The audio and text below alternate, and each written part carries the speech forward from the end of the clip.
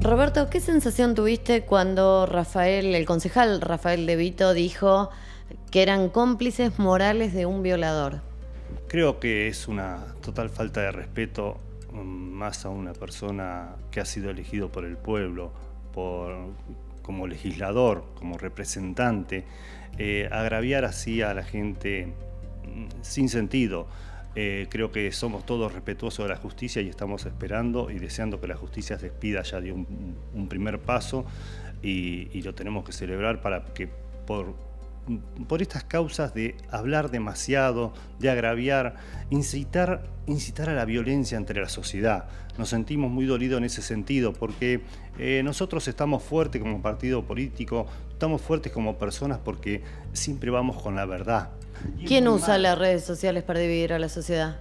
Todo, todo aquel que quiera hacer mal, todo esto que dijo Rafita, que realmente eh, no sé por qué lo está haciendo, tal vez que piensa que que va a quebrar un partido político, que va a, a quebrarnos a nosotros como persona. No sé cuál es el sentido de decir esto, porque no es verdad, no es así.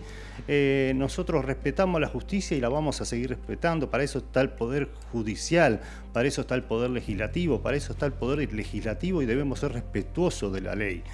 ¿Qué le pasa a Roberto Lors? Porque vos te referís como si fuese a otras personas les despierta esto, a otras personas les despierta violencia, pero ¿qué te pasa a vos?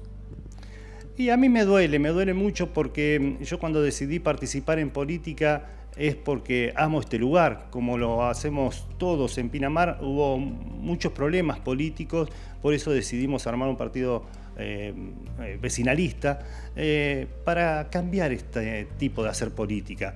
Eh, también eh, se presentó eh, una unión de dos partidos que fue Cambiemos para cambiar la forma de hacer política. Bueno, esto de, agravios no es cambiar, esto de agravio es caer más en un pozo, caer en una bajeza, en una agresión entre la gente. Bueno, tenemos que, empezar a, cambiar la actitud en, en, qué es lo que queremos para Piñamar, qué es lo que queremos como sociedad. Cambiemos está actuando como, como la vieja política?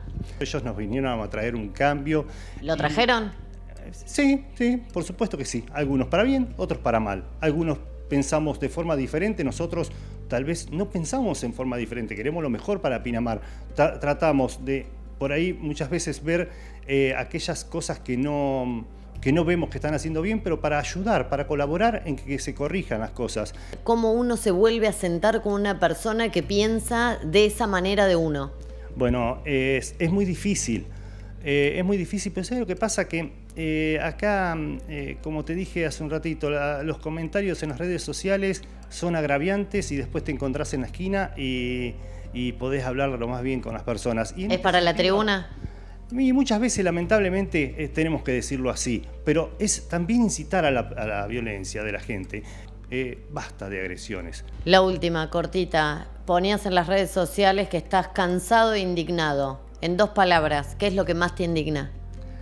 Me indigna esto, la pelea social que, está, que se está creando en, torno a, este, este tema de por ahí de, galarza o buscar excusas para para, para agraviar a la gente. No me gusta la pelea entre la gente. Yo creo que ninguno nos merecemos, ninguno de los 40.000 habitantes de Pinamar nos merecemos estar pensando en peleas sociales. Por favor, faltaba más.